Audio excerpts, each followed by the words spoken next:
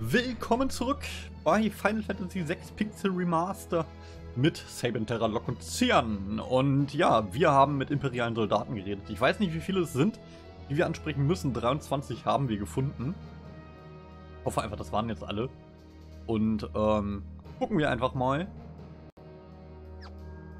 wie das Bankett aussieht. Ich traue dem Bankett irgendwie nicht. Und so ward in jener Nacht das Bankett mit dem Imperator an, äh, abgehalten.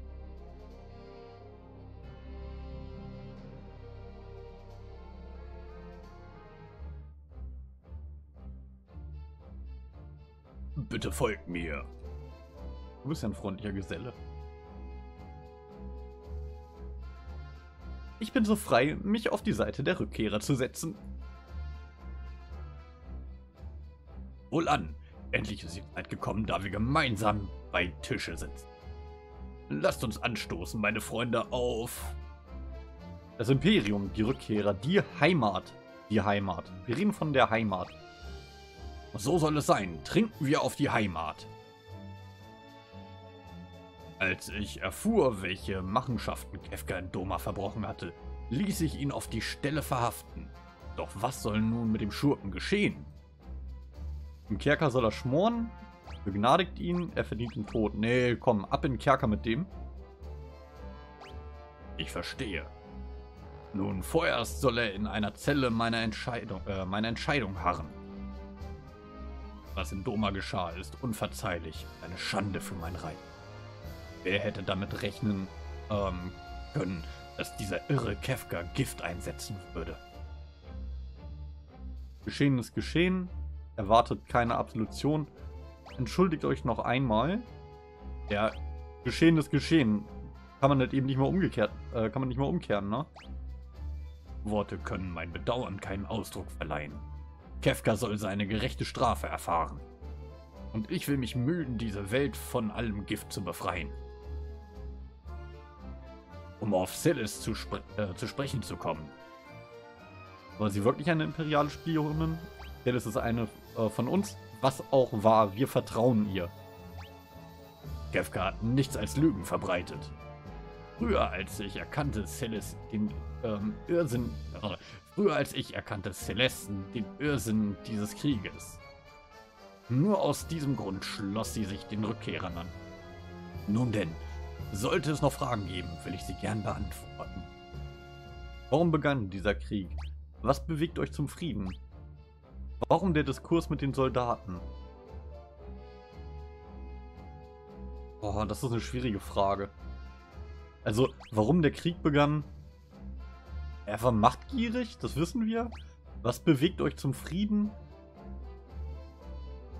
Das ist eher eine Frage. Aber es wirkt dann halt eben auch so von wegen, ich traue euch nicht. Warum der Diskurs mit den Soldaten? Noch gibt es solche, die diesen Frieden nicht billigen mögen. Eine direkte Begegnung mit euch könnte ihnen die Augen öffnen, so dachte ich. Verzeiht meine Ungeduld, doch möchte ich das Gespräch auf die Esper lenken. Ähm, da wäre noch eine Sache. Gut, reden wir über die Esper. Der Angriff der Esper hat das Imperium in ein Trümmerfeld verwandelt. Zu mächtig sind sie. Unternehmen wir nichts, drohen vielleicht gar der ganzen Welt der Untergang. In der Tat sind die Esper zu mächtig. Ähm, ihr wart es, der die Esper provozierte. Da müssen wir jetzt echt leider intervenieren. Als die Esper uns mit ihrer Allmacht straften, versiegelte mein Machtdurst. Äh, versiegte mein Machtdurst. Was mich dazu trieb, alles beherrschen zu wollen, kann ich nicht einmal mehr sagen. Natürlich enthebt mich dies nicht der Verantwortung für all das Leid, das ich über die Menschen gebracht habe. Verzeiht mein schlechtes Gedächtnis, aber wie lautet doch gleich eure erste Frage? Oh fuck. Warum begann dieser Krieg? Warum der Diskurs mit den Soldaten? So, so, jedenfalls strebe ich nach Frieden. Dies ist die Wahrheit, bitte glaubt mir. Die Unterredung währt schon, ähm, schon lange. Sicher seid ihr erschöpft? Ähm, eine Pause einlegen. Aber das erinnert mich so ein bisschen an das Gespräch mit, ähm, hier mit, mit dem Imperator bei Final Fantasy XIV, ne? Auf der einen Seite sitzen die Soldaten und der Imperator und auf der anderen Seite sitzen die, die gegen das Imperium kämpfen und eigentlich ist der Imperator eigentlich voll der Sturkopf und sagt so, Krieg, ich mache einfach weiter. Schön, dass wir drüber geredet haben, aber ihr seid einfach nichts. Ja, lass deine Pause einlegen.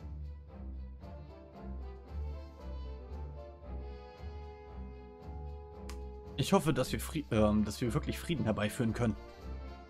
Das hoffe ich in der Tat auch. So, ich kann hier nicht weiter. Kann ich mit den Leuten reden? Gerne würden wir eure Kräfte erproben. Stellt ihr euch einem zweiminütigen Kampf? Äh. Ja. Komm, why not?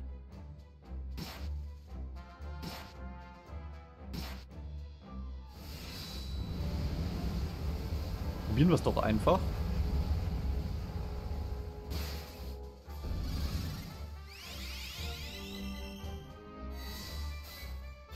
Ach shit, der macht Drache. Das ist blöd. Das muss ich gleich nochmal ändern.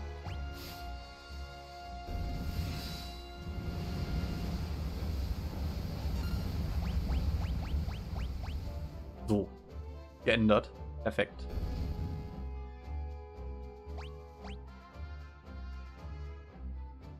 Wie wir es dachten.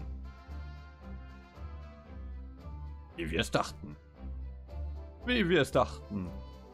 Wir es dachten. Was machst du? Der sagt gar nichts. Okay, gut. Dann, ähm, weiter geht's. Mich erinnert das auch ein bisschen an Vayne Solidor aus 12. Erst zum Sch äh, Schein friedlich tun und dann umso härter versuchen zuzuschlagen. Ja gut, ich habe 12 nie ganz gespielt, muss ich zugeben weil mir da vieles auf den Keks gegangen ist. Insbesondere Wahn und, ähm, und, und hier, ähm, ich will mal Pele äh, Penelope sagen. Ist sie so? Nee, die ist anders. Egal. Gibt es noch, äh, sonst noch etwas, das ihr von mir hören wollt? Den Wunsch nach Frieden, den Wunsch nach einer Beendung der Kämpfe, eine Entschuldigung, Penelo, genau so hieß sie. Ähm, den Wunsch nach Frieden. Den Wunsch nach einer Beendung der Kämpfe. Ich glaube, das ist diplomatisch herantastbarer. Jawohl. Ein Ende der Kämpfe ersehne ich. Und eine Bitte habe ich an euch. Nach ihrem Angriff auf uns flogen die Esper nördlich mit Kurs auf die Halbmondinsel. Lassen wir sie unbehelligt, ähm, so haben wir keine Gewissheit, wann sie das nächste Mal rasen. Gerne würde ich die Esper auf und mich mit ihnen aussöhnen. Doch zieht man in Betracht, dass das Imperium den Espern bis dato angetan hat, so werden wir alleine die magischen zum Einlenken bekommen. Hier kommt Terra ins Spiel. Wahrscheinlich ist Terra die einzige, der es gelingen kann, eine Brücke zwischen Espern und Menschen zu schlagen. In Kürze wird von ähm, Albrook aus ein, Luft, äh, ein Lastschiff mit Magitech Max gen Halbmond aufbrechen. Kann ich mit eurer Unterstützung rechnen? Ach, nee. Eigentlich nein, weil ich ganz genau weiß, dass er die doch nur unterjochen will wieder. Ja, genau, das war auch mein Gedanke, Blechwalze. Der Feind meines Feindes ist mein Freund, na klar. Ah, drücke ich Nein oder drücke ich Ja? Ja, komm. Auch wir wollen unsere besten Männer entsenden. General Leo, tretet hervor. Ich mag ihn jetzt schon nicht, der hat so einen hässlichen Sidecut. General Leo, zu euren Diensten. Den habe ich doch schon irgendwo mal gesehen. Richtig, das Camp in Doma. Der einzige Typ, der etwas in der Birne zu haben schien. Leo ist also sein Name. Ihr seid es. Fürstian aus Doma. Vergebt mir, dass ich Kefkas Giftanschlag nicht zu verhindern wusste. Euch trifft keine Schuld.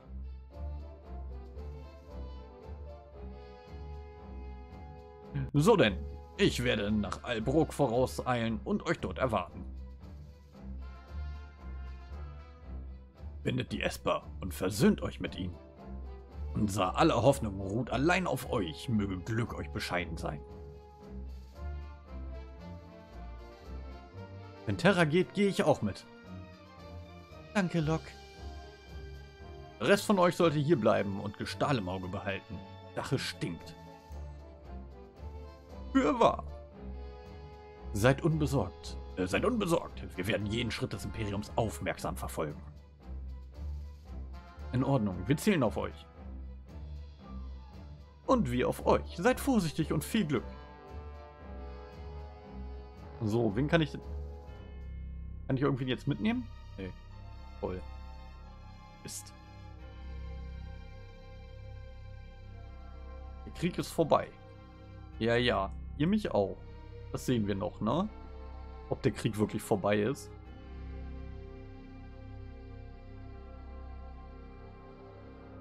Eine Botschaft vom Imperator. Die soeben gehaltene Unterredung sowie die Zahl der angesprochenen Soldaten haben folgendes Ergebnis.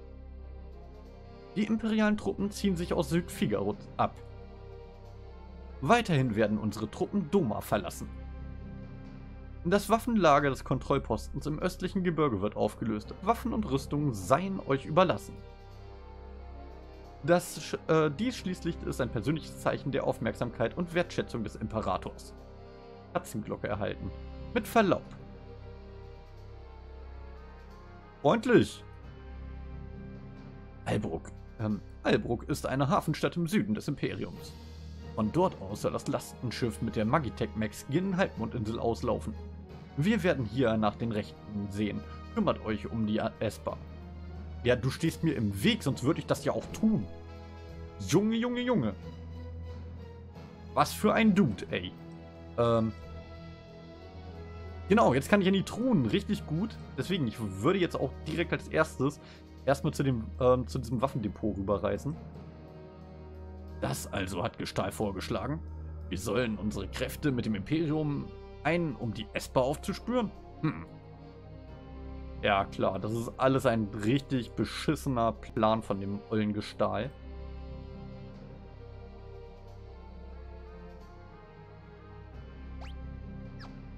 Brauche ich noch irgendwas? Ne, die sind aufgeladen. Ja, was ich jetzt ein bisschen blöd finde, ist natürlich, dass wir echt ein bisschen mehr, ähm, mehr Leute brauchen. Bräuchten Ultima-Waffe. Sollte er die Ultima-Waffe tragen? Weiß es nicht. Warum denn eigentlich?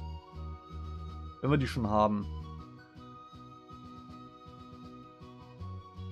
So, rüber da.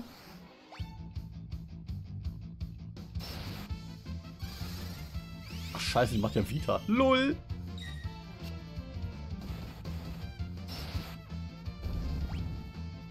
So, dann Magie. Ach shit, die hat auch noch Feuer.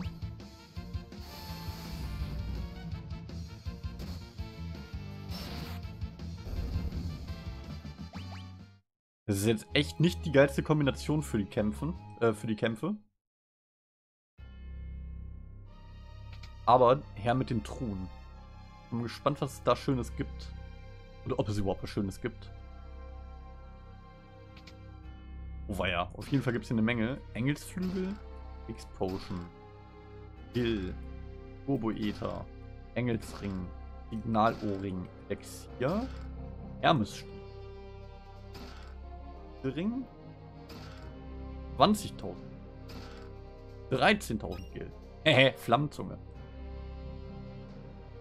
Okay. Das war wohl alles. Äh, ja gut, gucken wir nochmal eben.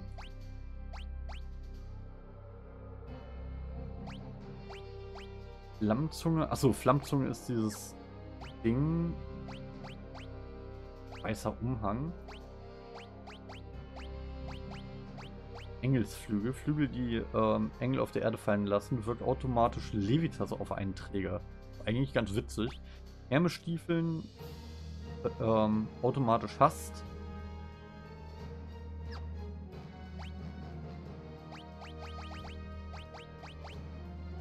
Ah. Ja, doch. Ja, doch. Achso, die bleibt so. So, aber Formation, die muss dann nach hinten, wenn wir ihr eh die ganze Zeit, äh, mit ihr eh die ganze Zeit Magie wirken, dann wäre es blöd, wenn die vorne steht. Gucken wir nochmal, was das Dörfchen da liefert. Wo wir dahin müssen. Wir müssen jetzt nach Süden. Oh, ich hoffe, dass wir noch neben Leo auch äh, Celeste wieder bekommen. Ein Hinterhalt. Nein!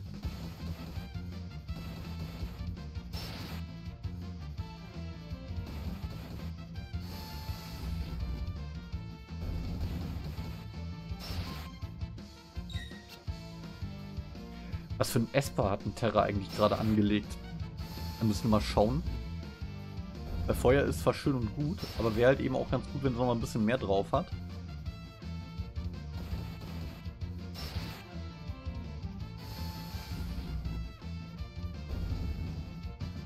Gucken wir nochmal. Wahrscheinlich hat sie Ifrit, oder? Nee, Einhorn hat sie. Ähm. So, Esper. Eigentlich ist es nicht verkehrt, wenn sie noch mal ein bisschen mehr... Genau, weil hier könntest du nämlich Feura lernen. Mit Kirin würde sie auch nochmal Vitra lernen. Also Vitra hat sie sogar schon. Das ist gut.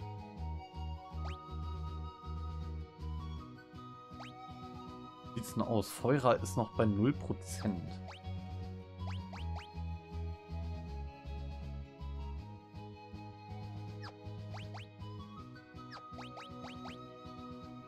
Bismarck, Feuer, Eis, Blitz.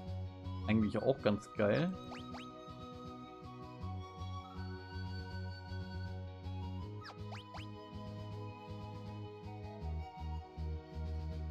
Wenn ich noch ein Blutschwert habe, ist das eine gute Kombo für Ultima. Okay, okay. Oh ja, du hast recht. Schau mal.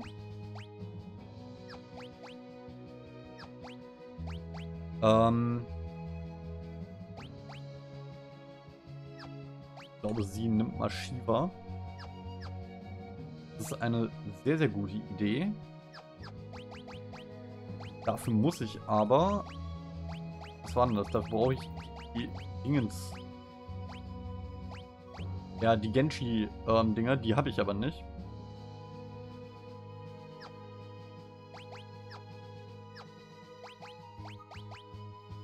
Ah, aber hier... Nee, habe ich leider nicht. Blutschwert. Das wäre tatsächlich echt eine Idee gewesen. Hast du voll recht.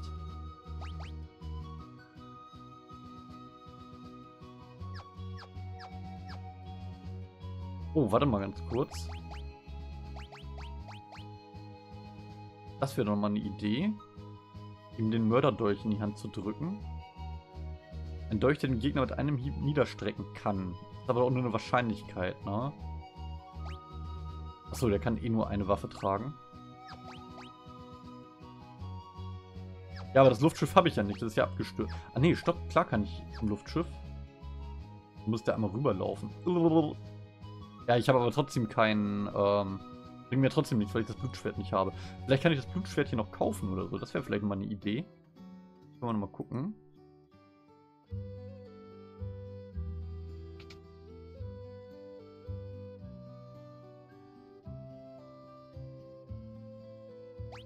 Nee. Nee. Leider nee. Nee, das wäre echt gut gewesen. Aha dachte mir schon so etwas. Dieses, diese Vase war schon so unglaublich auffällig. Wird mir eigentlich, sorry, das muss ich jetzt nochmal nachprüfen, wird mir eigentlich hier auch aufge ähm, angezeigt, wenn ich die Karte öffne? Ja, tatsächlich, mir werden hier auch die Schatztruhen angezeigt.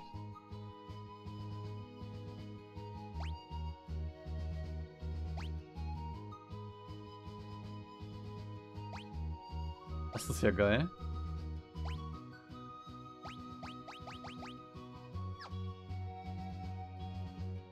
Laut Wiki ist das ein Zen.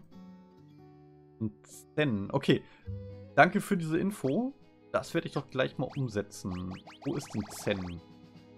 Da oben ist Zen. Ja gut, dann passt das. Dann, dann können wir das machen. Weil das ist eine echt gute Kombo. Das war echt ein guter Hinweis. Danke dafür, dass man das auf die Art und Weise regeln kann. Ähm, Magie.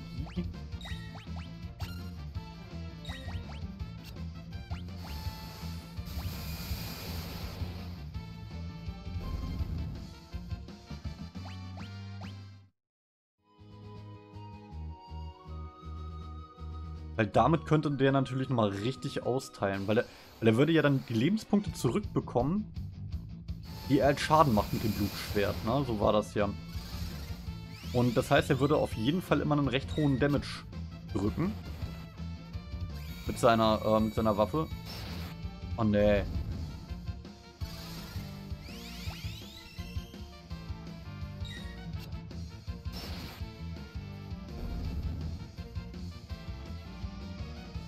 Das gefällt mir. Das gefällt mir wirklich, wirklich sehr gut.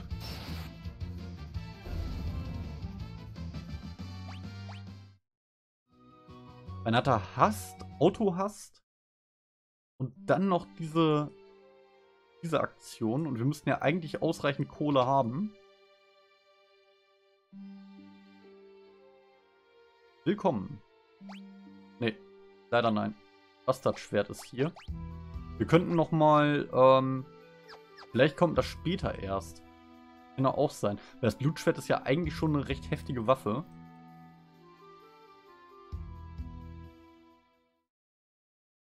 Also wir gehen nochmal. Wir in die andere Stadt.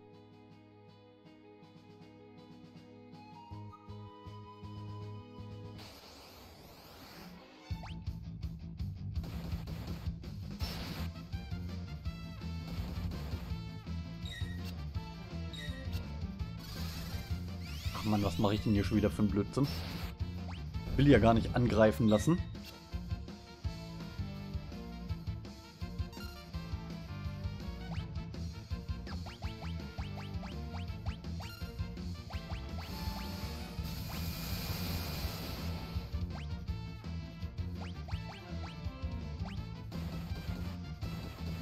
Nein, stumm. So ein Bockmist.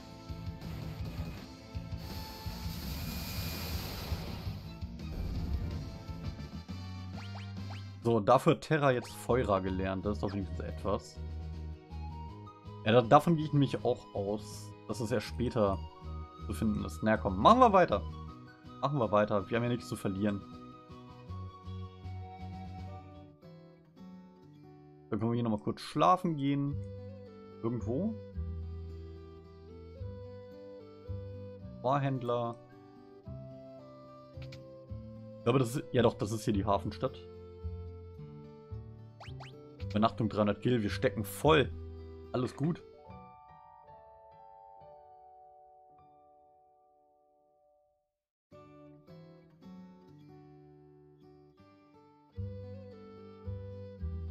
Wir haben ja doch einiges an, an Gil bekommen. Wir können nochmal hier nach Accessoires rein. Also nochmal schauen, ob wir hier coole Accessoires finden. Gewährt Schutz vor Blind. Fuß und Berserker. Ohrringe haben wir schon ein paar. Spitzenauge. Das ist was Gutes, denke ich mal, für, äh, für Edgar. Igelring. Reflex ist echt. Kann gut sein. Muss aber nicht. Dann lieber nochmal ein paar Items kaufen. Hier sowas wie. Ja, was halt eben nochmal ein bisschen eine Heilung liefert beziehungsweise ähm, Statusveränderungen heilt. Weil das kann noch viel, viel schlimmer sein dann. Augentropfen, seht ihr mal. Davon haben wir nämlich nicht mehr so viele. Ja komm. Nur noch ein paar Zelte mit hier. Oh, Telepostein. Das ist auch geil. Nehmen wir mal 10 Stück mit. Peter. Ja, komm, 8, damit wir wieder eine runde Zahl haben. Und hiervon nochmal 9, damit wir wieder eine runde Zahl haben.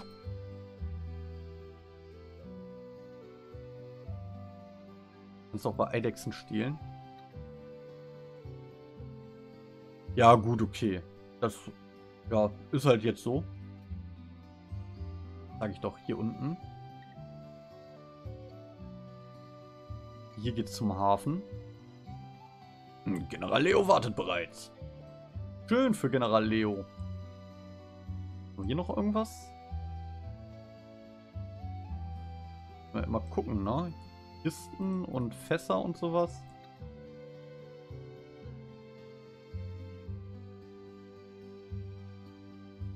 So, die Magitech äh, Max werden gewartet.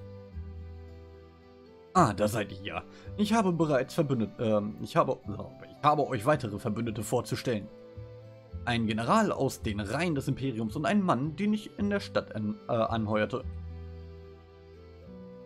Oh, ich glaube, ich weiß wen. Oh, yay! Lasst mich euch bekannt machen. Generalin Celes und Shadow. Ach komm, nimm die in den Arm, Mädel. Äh, Junge. Äh, ist was? Nein, nichts. Sehr wohl. Wir brechen morgen auf. Ruht die Nacht in der Herberge. Es ist bereits alles arrangiert. Unsere Mission ist eine heikle. Sammelt eure Kraft. Lass dich knuddeln. Hilles. Hm.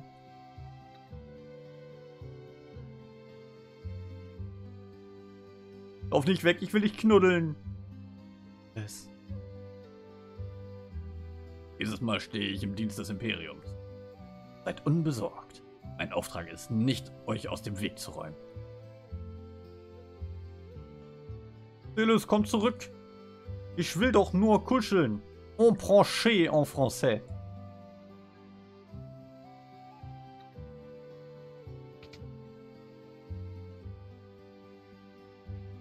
Na gut.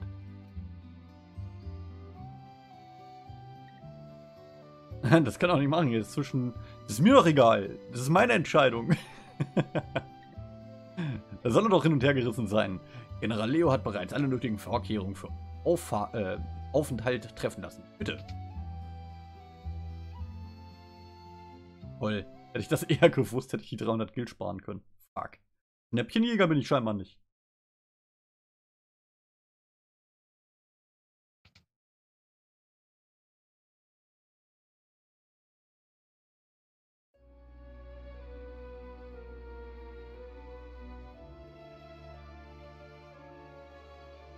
Silas. Les. Warum hast du denn, äh, sagst du denn nichts? Klar, war ich etwas misstrauisch, aber wir können immer noch Freunde. Celeste.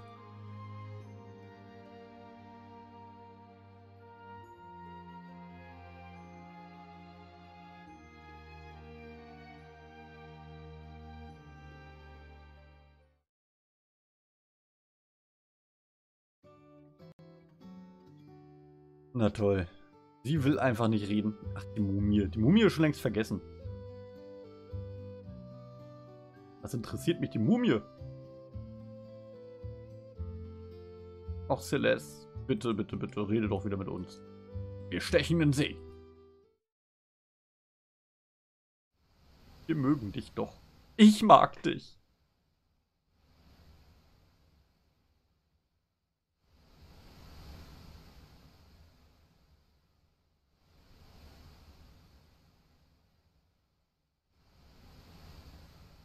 Alle Maschinen arbeiten einwandfrei, Sir. Aller Voraussicht nach werden wir morgen früh unser Ziel erreichen. Ruht euch bis dahin aus. Nochmal schlafen gehen. Toll. Jetzt würden wir nichts Besseres zu tun haben.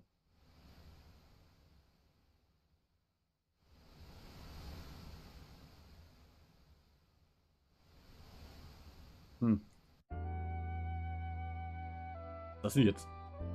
Kannst du nicht schlafen?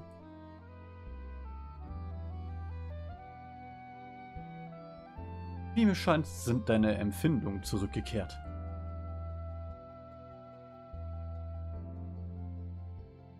Ist das nicht paradox? Das Imperium hat mich benutzt, sogar meine Gedanken kontrolliert. Und trotzdem arbeite ich jetzt Hand in Hand mit ihm. Auch die Bürger des Imperiums sind letztlich nur Menschen. Äh, auch die Bürger des Imperiums sind letztlich nur Menschen. Nicht alle gleichen Kefka. Wie aber geht es um euch?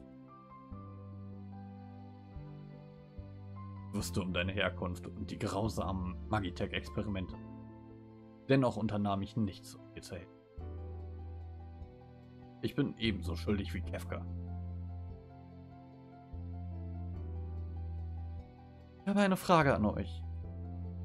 Wenn Esper und Menschen füreinander Liebe empfinden können, kann ich als Kind einer solchen Liebe dann selbst einen Menschen lieben? Aber selbstverständlich. Doch, ich habe diese Empfindung namens Liebe noch nie gespürt.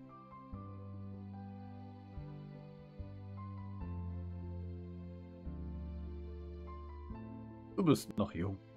Bald wirst du sie erfahren. Ganz sicher.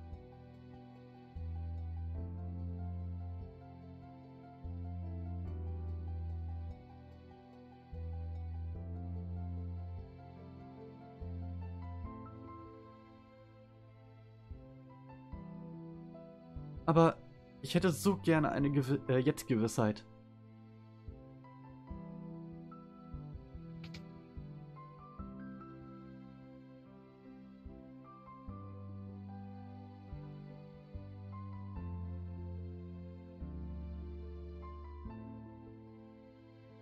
Hier stand der, hier stand der Sinn nach einem, einem Nickerchen im Freien. Äh, mein Gespräch mit Leo, hast du es gehört? Ich hatte nicht vor, euch zu belauschen. Ich. Ich kann dir keine Antwort bieten. Du musst sie aus eigenen Kräften finden.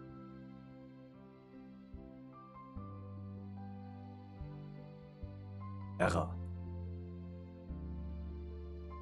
Es gibt auf dieser Welt auch Menschen, Absicht versuchen, frei von Gefühlen zu leben.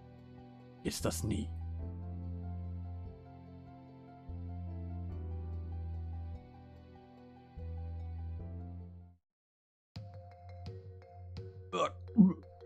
Uh, ist mir schlecht.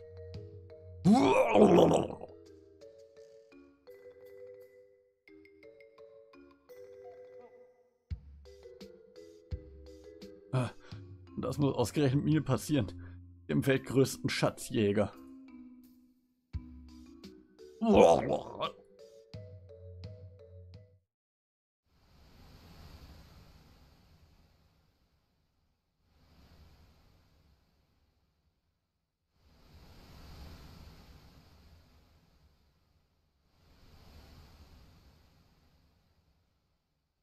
So, aber hier nochmal einen kleinen Cut.